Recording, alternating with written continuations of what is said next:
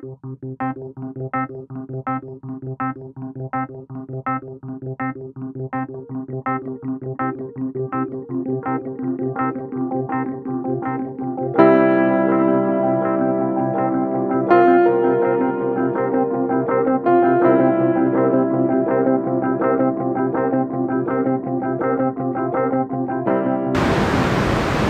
Good morning friends আমি কনিষ্ক আর আমি এসে গেছি আপনাদের ফেভারিট চ্যানেল দ্য ইয়েলো স্কার্ফে একটা নতুন ট্রাভেল এক্সপিরিয়েন্স নিয়ে। এভারেস্ট ট্রাভেল স্টোরি এমন একটা জায়গা থেকে, যেখানে কিনা চাইলে আপনি উইকেন্ডে এসে টু নাইটস ওয়ান ডের জন্য আরামসে ঘুরে যেতে পারেন if you are from Kolkata তাহলে এই উইকেন্ড ট্যুর আপনি করে নিতে পারেন এখানে এসে এবং সারা সপ্তাহের যে অফিসের যে ব্যস্ততা, তার থেকে ব্রেক নেওয়ার জন্য বা সারা সপ্তাহের যে সাংসারিক যে ব্যস্ততা, তার থেকে একটা ব্রেক নেওয়ার জন্য এখানে আসা যেতেই পারে।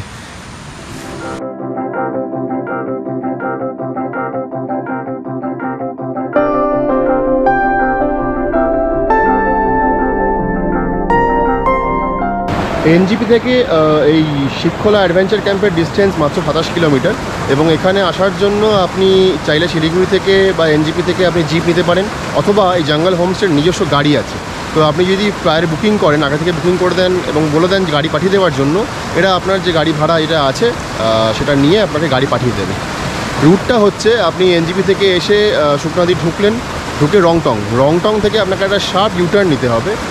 সেই শার্প ইউটার্ন নিয়ে তারপরে ওখান থেকে রংটং থেকে এখানকার ডিস্টেন্স মোটামুটি এই ছ সাত কিলোমিটার মতো। শিবখোলাতে নদীর পাশে থেকে নেচারটাকে এনজয় করার জন্য যে বেস্ট যে জায়গা সেটা হচ্ছে শিবখোলা অ্যাডভেঞ্চার ক্যাম্প যেখানে আমরা অ্যাট প্রেজেন্ট রয়েছি।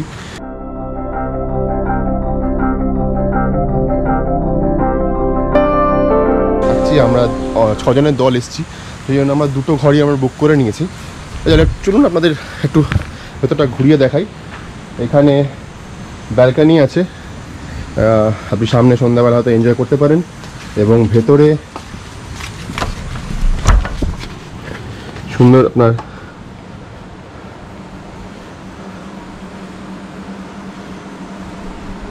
ডাবল বেড রয়েছে, দুখানা ডাবল বেড যথেষ্ট সুন্দর অ্যারেঞ্জমেন্ট আছে। পরিষ্কার। আমরাই বেসিক্যালি নোংরা করেছি। আপনার টয়লেটও ওয়েস্টার্ন স্টাইল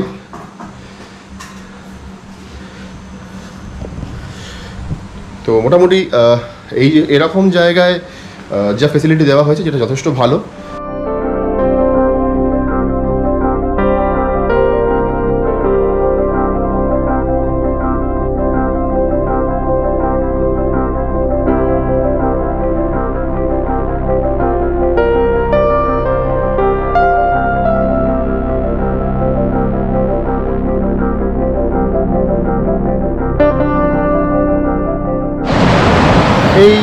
জায়গাটার নাম শিব খোলা কারণ হয়েছে।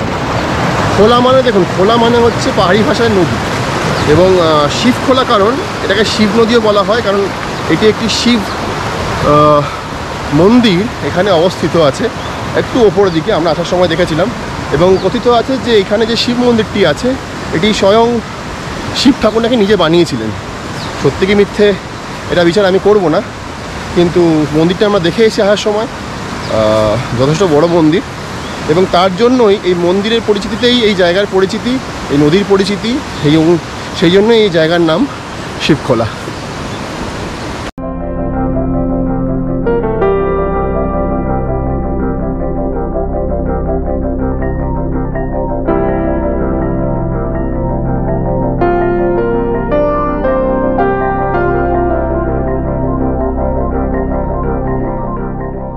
আমি জানি না আওয়াজ আসছে কি না কারণ আমি একদম ঘোড়াটার উপরে দাঁড়িয়ে আছি এখানে। এই ব্রিজ ক্রস করে এখন উপরে যাব, উপরে একটা গ্রাম আছে। সেই গ্রামটা চলুন দেখে আসি।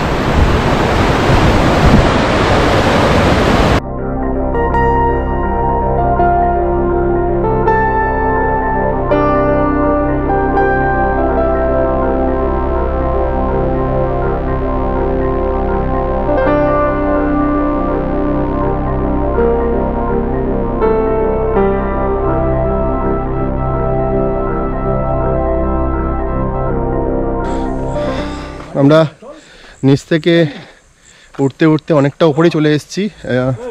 আশেপাশে এখানে টি প্লান্টেশন আছে। আমার বাদিকে আছে টি প্লান্টেশন। আর এখানে একটা বোর্ড দেখা যাচ্ছে। বোর্ডটা দেখাই আপনাদেরকে। লেখা আছে, বাফার জোন। বাফার জোন কেন?